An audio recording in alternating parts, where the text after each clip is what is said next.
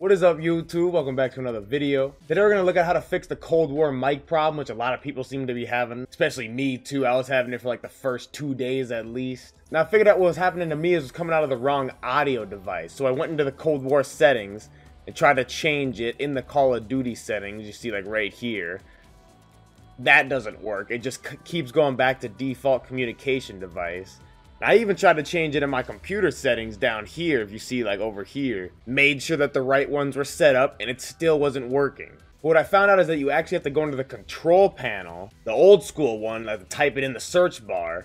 And once you have that up, go ahead and go into your hardware and sound, click sound, and make sure that the audio device that you want is selected. For me, both of these were default. I don't even know how that's possible, but they both had the check mark. Make sure you got the right audio too, the microphone right here, so you see it working its magic right now. And once I changed that, these are the speakers that I wanted it to come out of. I went ahead and clicked set default. The audio started working. So that should be a fix for you. If you're having a different problem, I'm not exactly sure how to fix that one. I mean, there is a new game, so there's going to be a lot of different problems, a lot of weird buggy shit, especially on PC. But if this helped fix your mic problem, go ahead and leave a like on the video. Maybe hit the subscribe button. I got a lot more content. I guess other than that, I'll see you in the next video. Peace.